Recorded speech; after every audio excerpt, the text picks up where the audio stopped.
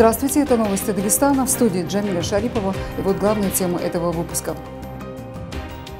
Убил и забрал драгоценности или несчастные случаи. По подозрению в убийстве задержан 25-летний дагестанец. Большая уборка набирает обороты. Дорожники проводят очистку автомобильных дорог от снега и слякоти.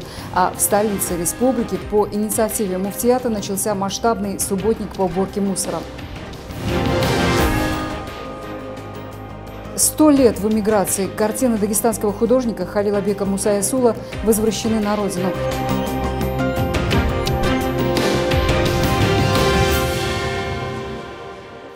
В Дагестане задержан 25-летний мужчина по подозрению в убийстве 65-летней женщины. В сентябре прошлого года сотрудники полиции одной из махачкалинских квартир обнаружили тело хозяйки без внешних признаков насильственной смерти. Однако из дома пропали драгоценности погибшей. Было установлено, что в момент инцидента в квартире женщины находился парень, который ранее привлекался к уголовной ответственности. По его словам, женщина погибла в результате падения и удара головой о твердую поверхность. Однако правоохранители подозревают его в сдаче ложных показаний.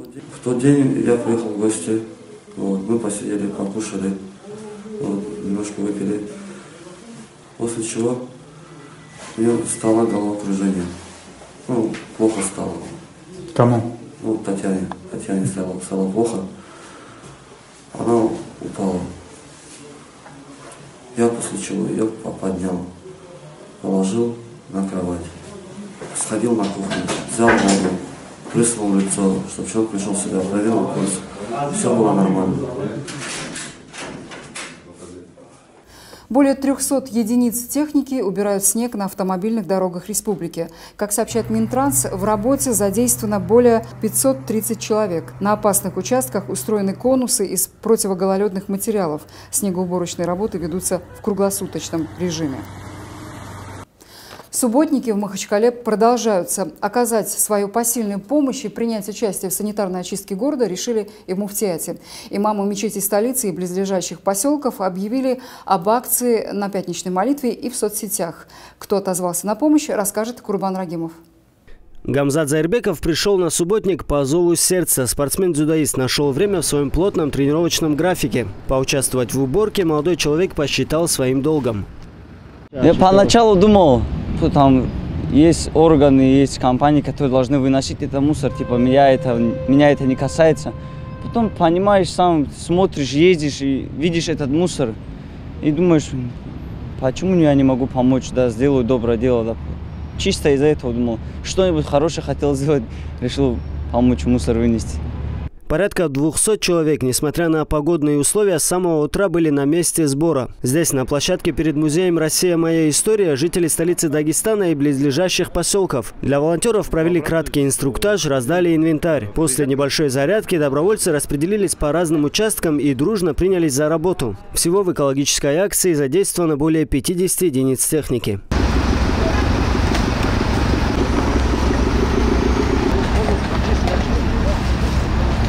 Завалы мусора вычистили не только на центральных улицах, но и в жилых массивах столицы. Экологическая акция, по словам организаторов, показала, что жителям не безразлична обстановка в городе.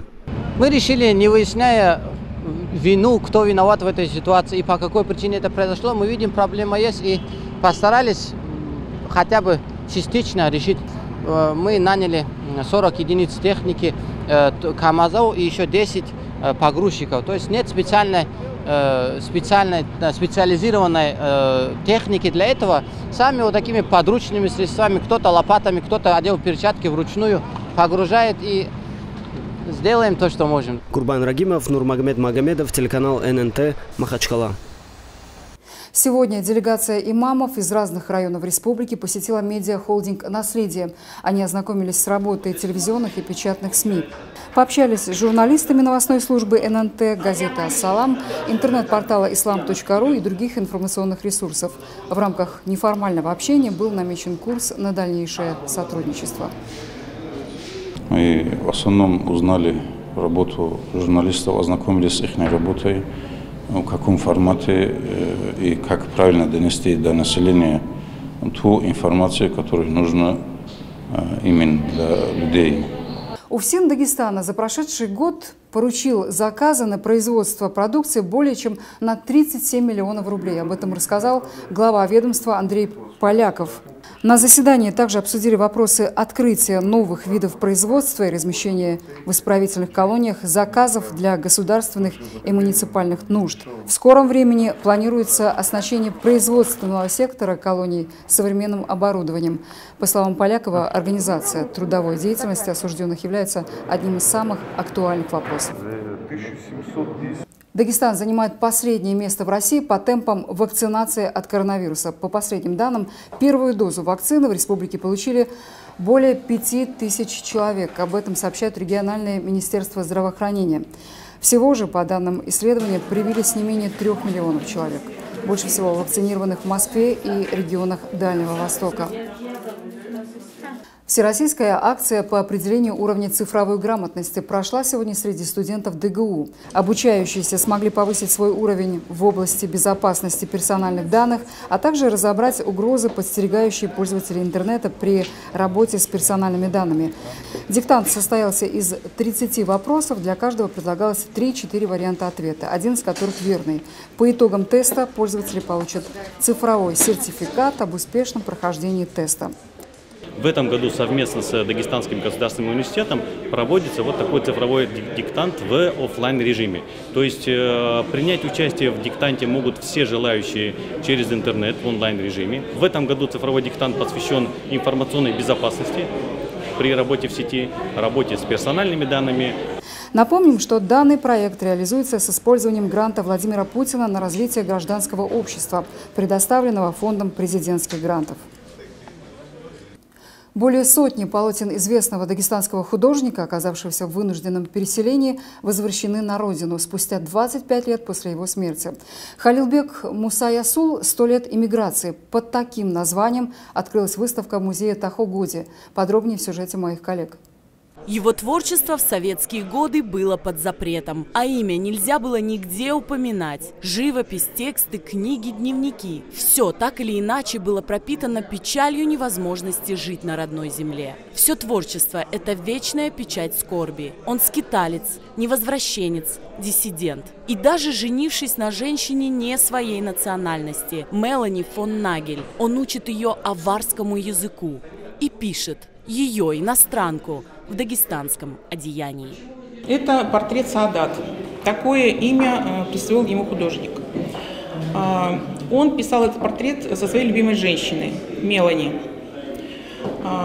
Он изобразил ее э, здесь в костюме, в дагестанском горском красивом костюме. А, это фиолетовый бархат, здесь сокол изображен и э, красивые очень украшения. Это, кстати, кольцо старинное египетское, ему подарила египетская принцесса, он его потом отдал Мелани, знак любви. Осознавая важность популяризации творчества Халилбека Мусая Сула, Национальный музей Дагестана в начале прошлого года заключил соглашение с родственниками художника о временном хранении живописных графических работ, фотографий, дневников и документов. Совет семейный принял такое решение, что эти работы надо, чтобы люди их видели, чтобы э, не забывали, и э, это было и завещание художника, и желание его жены, которая передала эти картины. И э, мы поэтому в Национальном музее эти работы передали в начале прошлого года. Но, к сожалению, в связи с пандемией э, работы немножко приостановились. Музей брал на себя обязательство провести атрибуцию картин. И далее больших планах, конечно, сделать музей и выпустить каталог. Портреты, пейзажи, иллюстрации к книгам, совершенные линии, уверенные мазки, великолепная передача цвета. От работ художника не могли оторвать глаз и самые медийные личности республики. Я сам в шоке, я первый раз вижу вот эти оригиналы, я на самом деле, хоть они хранились там где-то в Москве, там то сюда, но мне реально нравится все это, это до того красиво все. Я видел репродукции там то все, но когда живу и смотришь, это кайф. Экспозиция продлится полгода, а дальше в планах авторов и кураторов проекта создание музея на родине художника в селе Чох, печать полного альбома мастера и открытие постоянно действующего выставочного центра. Ларианна Шамхалаева, Магомед Магомедов, телеканал ННТ Махачкала. Две золотые медали завоевали дагестанцы на зимнем Кубке России по легкой атлетике среди лиц с повреждением опорно-двигательного аппарата. Соревнования накануне завершились в Новочебоксарске. В прыжках в высоту лучший результат показал чемпион страны Абдул Вагабов, а в состязаниях среди женщин награду высшей пробы выиграла Сабина Махмудова. Помимо этого, в копилке республиканской сборной еще четыре серебряные и три бронзовые медали. Всего в соревнованиях приняли участие более 300 спортсменов из 50 регионов регионов России. Это все, о чем мы хотели вам сегодня рассказать. Удачных вам выходных, всего доброго и до свидания.